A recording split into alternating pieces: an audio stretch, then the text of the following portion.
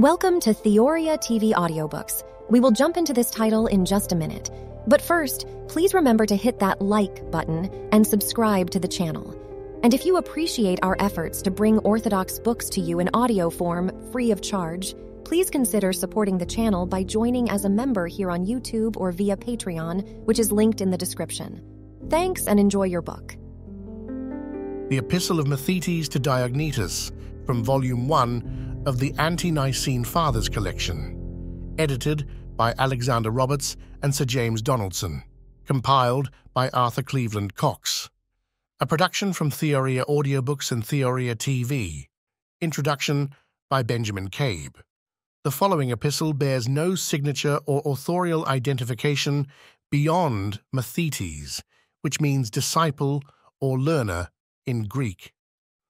Although the earliest manuscripts of the letter come to us from the 13th and 14th centuries, it is believed that it was written in the early 2nd century AD.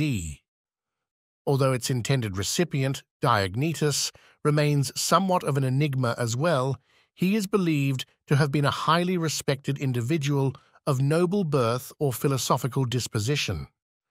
The aim of Mathetes in writing the letter is to explain Christianity to this Diognetus, who appears to be curious about the faith, was rapidly spreading throughout the Roman Empire.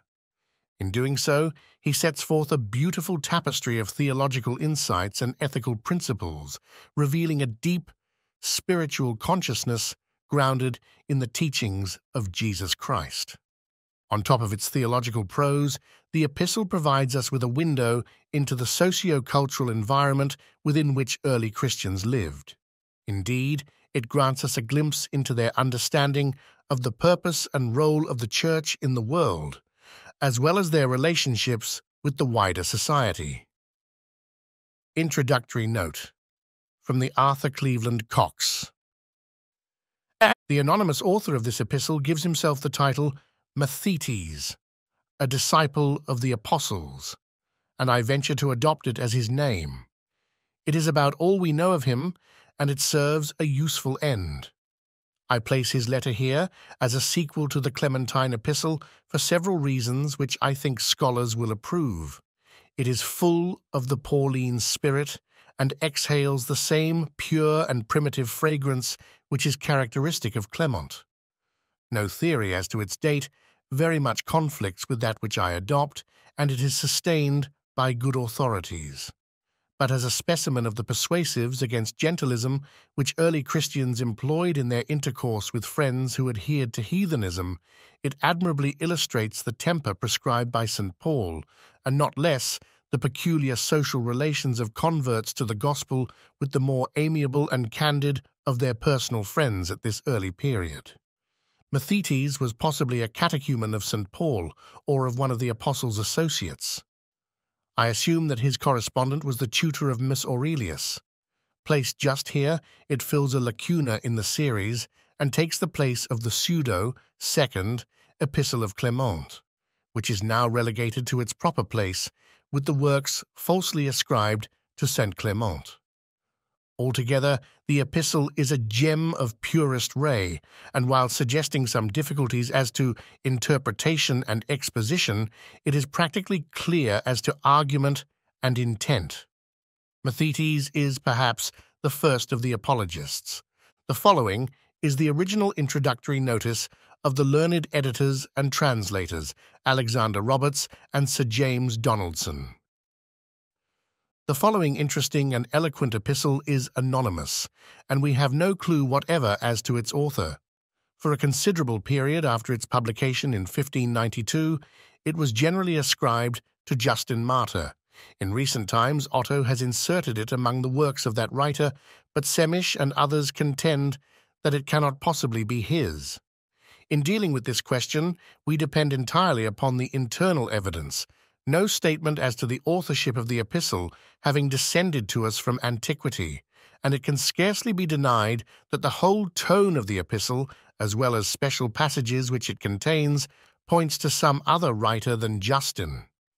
Accordingly, critics are now for the most part agreed that it is not his, and that it must be ascribed to one who lived at a still earlier date in the history of the Church. Several internal arguments have been brought forward in favor of this opinion. Supposing chapter 11 to be genuine, it has been supported by the fact that the writer there styles himself a disciple of the apostles, but there is great suspicion that the two concluding chapters are spurious, and even though admitted to be genuine, the expression quoted evidently admits of a different explanation from that which implies the writer's personal acquaintance with the apostles. It might indeed be adopted by one even at the present day. More weight is to be attached to those passages in which the writer speaks of Christianity as still being a new thing in the world. Expressions to this effect occur in several places, and seem to imply that the author lived very little, if at all, after the apostolic age. There is certainly nothing in the epistle which is inconsistent with this opinion, and we may therefore believe that in this beautiful composition we possess a genuine production of some apostolic man who lived not later than the beginning of the second century. The names of Clement of Rome and of Apollos have both been suggested as those of the probable author. Such opinions, however, are pure fancies, which it is perhaps impossible to refute, but which rest on nothing more than conjecture. Nor can a single word be said as to the person named Diognetus, to whom the letter is addressed. We must be content to leave both points in hopeless obscurity and simply accept the epistle as written by an earnest and intelligent Christian to a sincere inquirer among the Gentiles towards the close of the apostolic age.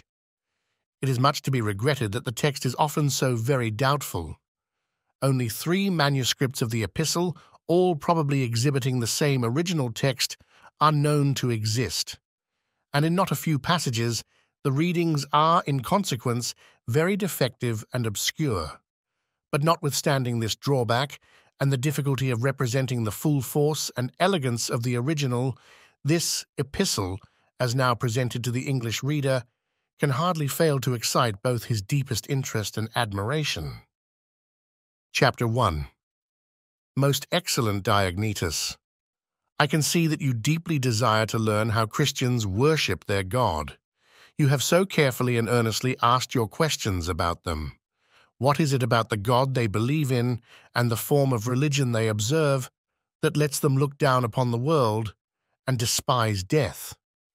Why do they reject the Greek gods and the Jewish superstitions alike? What about the affection they all have for each other?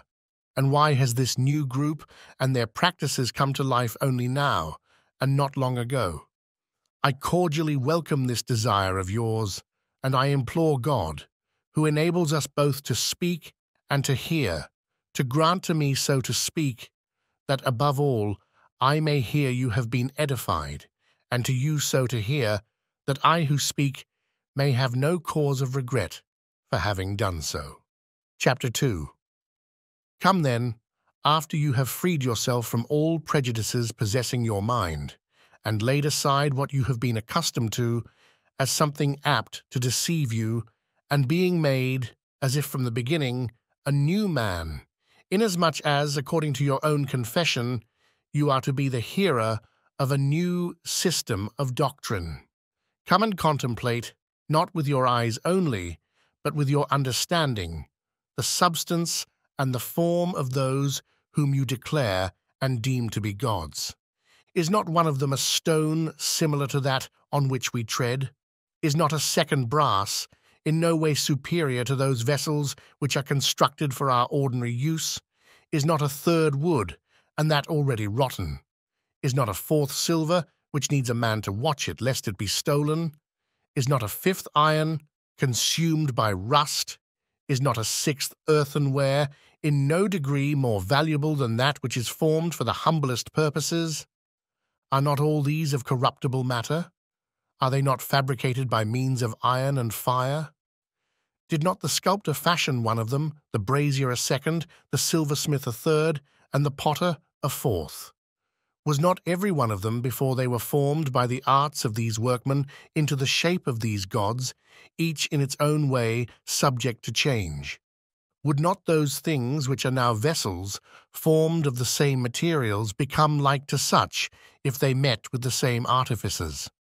Might not these, which are now worshipped by you, again be made by men vessels similar to others? Are they not all deaf? Are they not blind? Are they not without life? Are they not destitute of feeling? Are they not incapable of motion? Are they not all prone to decay? Are they not all corruptible? These things you call gods, these you serve, these you worship, and you become altogether like them. For this reason you hate the Christians, because they do not deem these to be gods. But do not you yourselves, who now think and suppose such to be gods, much more cast contempt upon them than they, the Christians, do? Do you not much more mock and insult them when you worship those that are made of stone and earthenware, without appointing any persons to guard them? But those made of silver and gold you shut up by night, and appoint watchers to look after them by day, lest they be stolen. And by those gifts which you mean to present to them, do you not, if they are possessed of sense, rather punish than honor them? But if, on the other hand, they are destitute of sense, you convict them of this fact, while you worship them with blood and the smoke of sacrifices. Let any one of you suffer such indignities. Let any one of you endure to have such things done to himself. But not a single human being will, unless compelled to it, endure such treatment, since he is endowed with sense and reason. A stone, however, readily bears it, seeing it is insensible. Certainly you do not show, by your conduct, that he, your God, is possessed of sense. And as to the fact that Christians are not accustomed to serve such gods, I might easily find many other things to say. But if even what has been said does not seem to anyone sufficient, I deem it idle to say anything further. Chapter 3 And next I imagine that you are most desirous of hearing something on this point, that the Christians do not observe the same forms of divine worship as do the Jews. The Jews, then, if they abstain from the kind of service above described, and deem it proper to worship one God as being Lord of all, are right. But if they offer him worship in the way which we have described, they greatly err. For while the Gentiles, by offering such things to those that are destitute of sense and hearing, furnish an example of madness, they, on the other hand, by thinking to offer these things to God as if he needed them, might justly reckon it rather an act of folly than of divine worship. For he that made heaven and earth, and all that is therein, and gives to us all the things of which we stand in need, certainly requires none of those things which he himself bestows on such as think of furnishing them to him. But those who imagine that by means of blood and the smoke of sacrifices and burnt offerings they offer sacrifices acceptable to him, and that by such honours they show him respect, these by supposing that they can give anything to him who needs nothing, appear to me in no respect to differ from those who studiously confer the same honour on things destitute of sense, and which therefore are unable to enjoy such honours.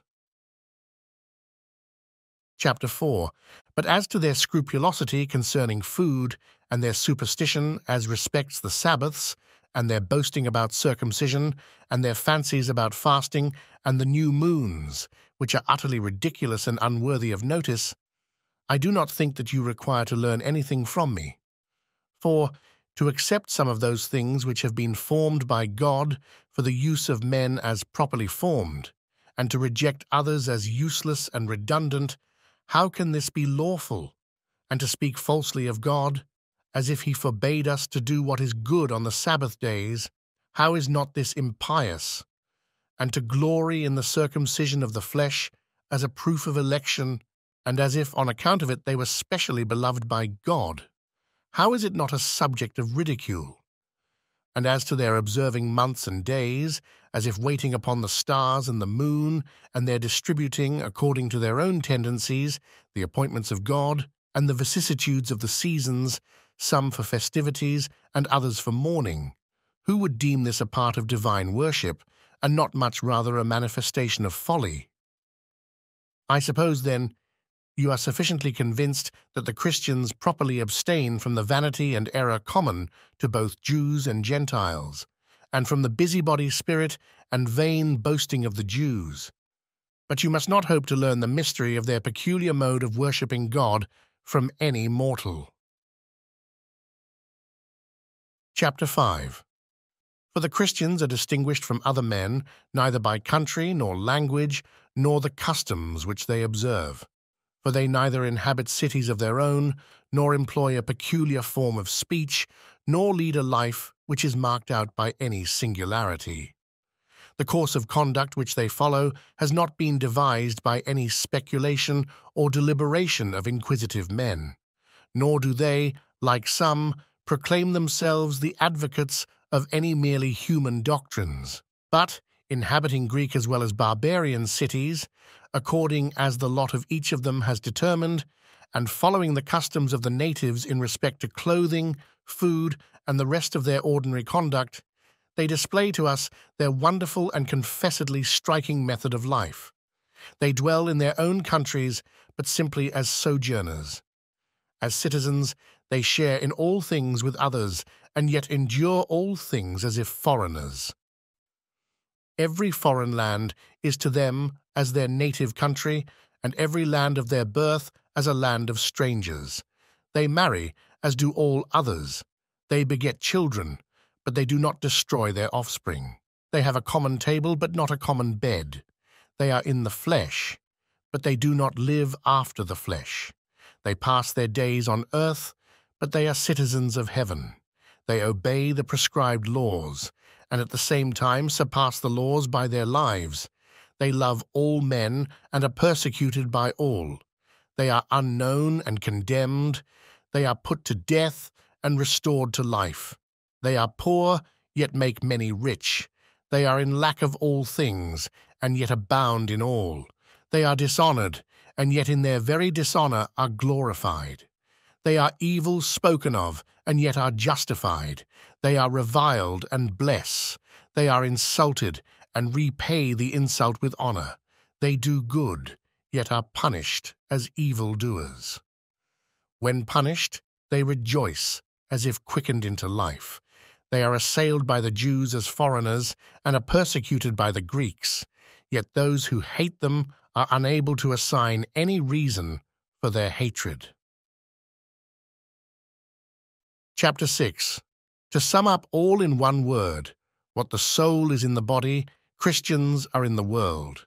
The soul is dispersed through all the members of the body, and Christians are scattered through all the cities of the world. The soul dwells in the body, yet is not of the body. And Christians dwell in the world, yet are not of the world. The invisible soul is guarded by the visible body, and Christians are known indeed to be in the world, but their godliness remains invisible.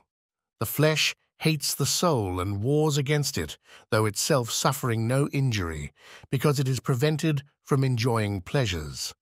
The world also hates the Christians, though in no wise injured, because they abjure pleasures. The soul loves the flesh that hates it, and loves also the members. Christians likewise love those that hate them. The soul is imprisoned in the body, yet keeps together that very body. And Christians are confined in the world as in a prison, and yet they keep together the world. The immortal soul dwells in a mortal tabernacle, and Christians dwell as sojourners in corruptible bodies, looking for an incorruptible dwelling in the heavens. The soul, when but ill provided with food and drink, becomes better. In like manner, the Christians, though subjected day by day to punishment, increase the more in number. God has assigned them this illustrious position, which it were unlawful for them to forsake. Chapter 7 The Manifestation of Christ. For as I said, this was no mere earthly invention which was delivered to them, nor is it a mere human system of opinion, which they judge it right to preserve so carefully, nor has a dispensation of mere human mysteries been committed to them, but truly God himself, who is almighty, the creator of all things and invisible, has sent from heaven and placed among men him who is the truth, and the holy and incomprehensible word, and has firmly established him in their hearts.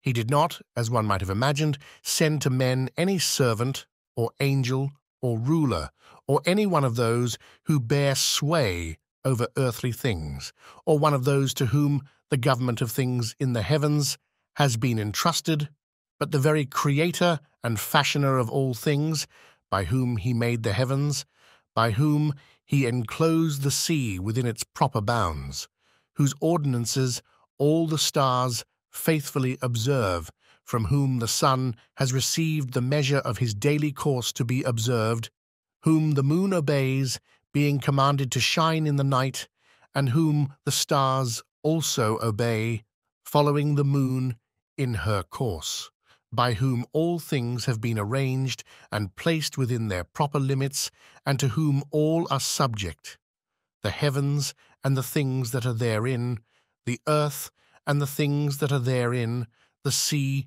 and the things that are therein, fire, air, and the abyss, the things which are in the heights, the things which are in the depths, and the things which lie between. This messenger he sent to them. Was it then, as one might conceive, for the purpose of exercising tyranny or of inspiring fear and terror? By no means, but under the influence of clemency and meekness. As a king sends his son, who is also a king, so sent he him. As God he sent him, as to men he sent him. As a Saviour he sent him, and as seeking to persuade, not to compel us, for violence has no place in the character of God. As calling us, he sent him, not as vengefully pursuing us, as loving us, he sent him, not as judging us. For he will yet send him to judge us, and who shall endure his appearing? Note from the editors. A considerable gap here occurs in the manuscripts. Do you not see them exposed to wild beasts, that they may be persuaded to deny the Lord, and yet not overcome? Do you not see that the more of them are punished, the greater becomes the number of the rest? This does not seem to be the work of man. This is the power of God. These are the evidences of his manifestation. Chapter 8 For who of men at all understood before his coming what God is? Do you accept of the vain and silly doctrines of those who are deemed trustworthy philosophers, of whom some said that fire was God, calling that God to which they themselves were by and by to come, and some water, and others some other of the elements formed by God. But if any one of these theories be worthy of approbation, every one of the rest of created things might also be declared to be God. But such declarations are simply the startling and erroneous utterances of deceivers, and no man has either seen him or made him known, but he has revealed himself. And he has manifested himself through faith, to which alone it is given to behold God. For God, the Lord and fashioner of all things, who made all things and assigned them their several positions, proved himself not merely a friend of mankind, but also long-suffering in his dealings with them.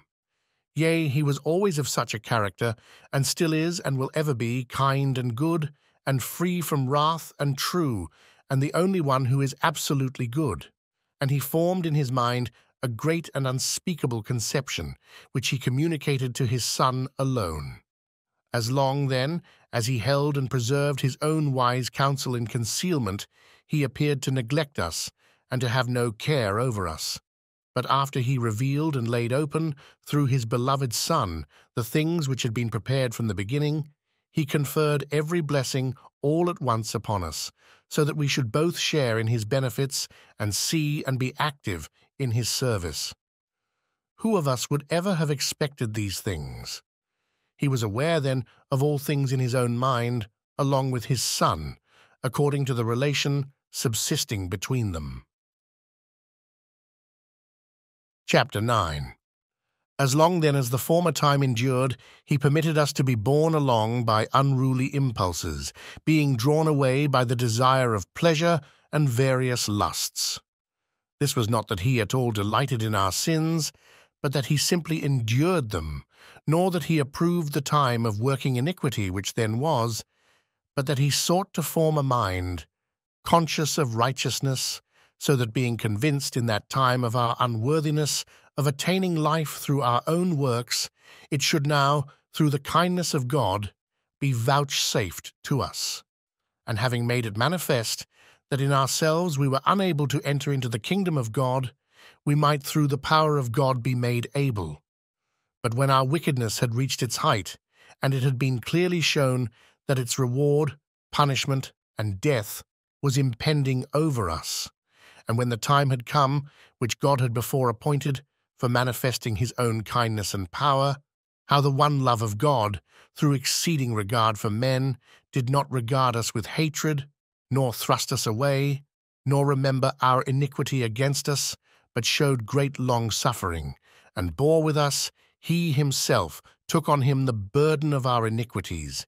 He gave his own Son as a ransom for us, the Holy One for transgressors, the blameless one for the wicked, the righteous one for the unrighteous, the incorruptible one for the corruptible, the immortal one for those who are mortal. For what other thing was capable of covering our sins than his righteousness? By what other one was it possible that we, the wicked and ungodly, could be justified than by the only Son of God? O sweet exchange, O unsearchable operation, O benefits surpassing all expectation, that the wickedness of many should be hid in a single righteous one, and that the righteousness of one should justify many transgressors. Having therefore convinced us in the former time that our nature was unable to attain to life, and having now revealed the Saviour who is able to save even those things which it was formerly impossible to save, by both these facts he desired to lead us to trust in his kindness, to esteem him our nourisher, father, teacher, counselor, healer, our wisdom, light, honour, glory, power, and life, so that we should not be anxious concerning clothing and food. Chapter 10 If you also desire to possess this faith, you likewise shall receive first of all the knowledge of the Father. For God has loved mankind, on whose account he made the world, to whom he rendered subject all the things that are in it, to whom he gave reason and understanding, to whom alone he imparted the privilege of looking upwards to himself, whom he formed after his own image, to whom he sent his only begotten Son, to whom he has promised a kingdom in heaven, and will give it to those who have loved him. And when you have attained this knowledge, with what joy do you think you will be filled? Or how will you love him who has first so loved you? And if you love him, you will be an imitator of his kindness. And do not wonder that a man may become an imitator of God. He can, if he is willing, for it is not by ruling over his neighbors, or by seeking to hold the supremacy over those that are weaker, or by being rich and showing violence towards those that are inferior, that happiness is found. Nor can anyone by these things become an imitator of God. But these things do not at all constitute his majesty.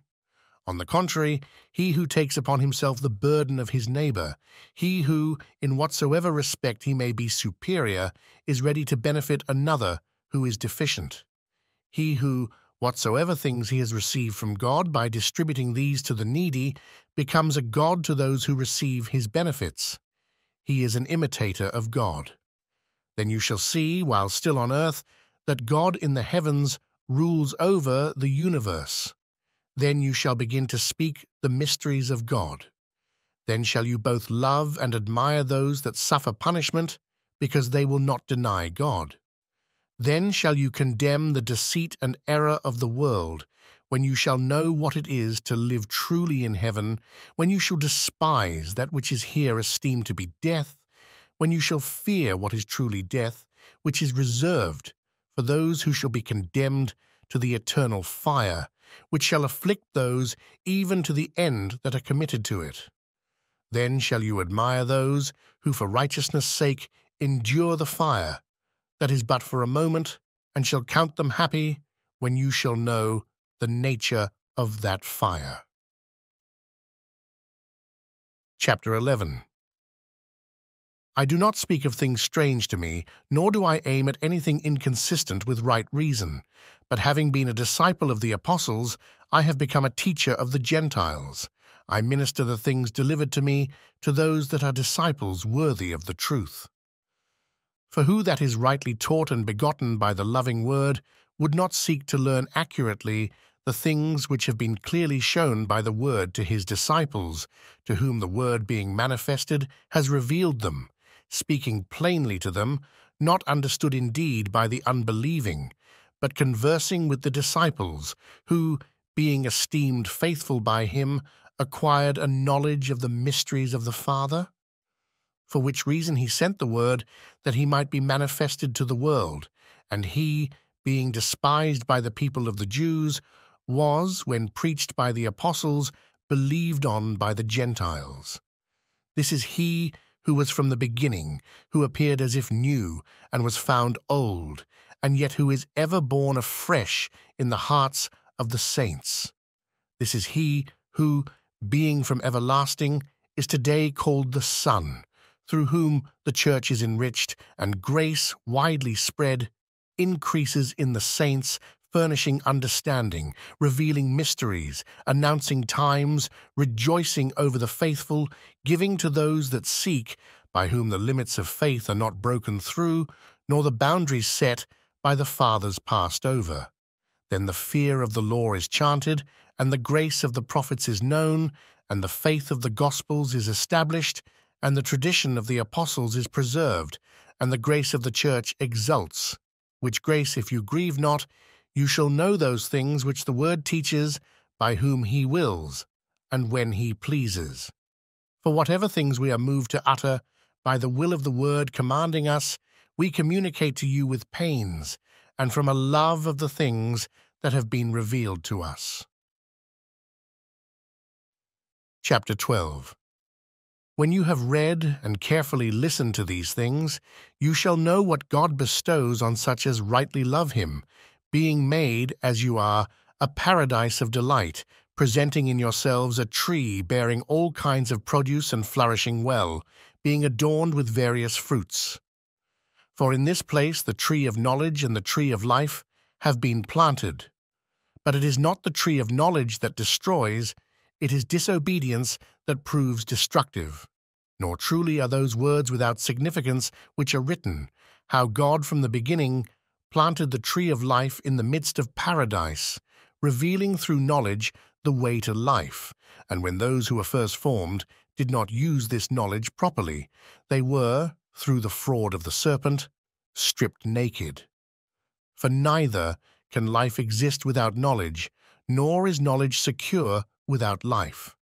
Wherefore both were planted close together, the apostle, perceiving the force of this conjunction, and blaming that knowledge which without true doctrine is admitted to influence life, declares, Knowledge puffs up, but love edifies.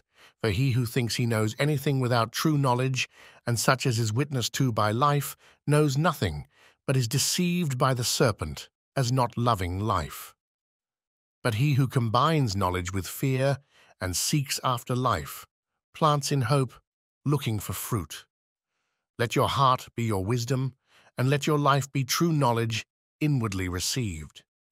Bearing this tree and displaying its fruit, you shall always gather in those things which are desired by God, which the serpent cannot reach, and to which deception does not approach, nor is Eve then corrupted, but is trusted as a virgin. And salvation is manifested, and the apostles are filled with understanding, and the Passover of the Lord advances, and the choirs are gathered together and are arranged in proper order, and the word rejoices in teaching the saints, by whom the Father is glorified.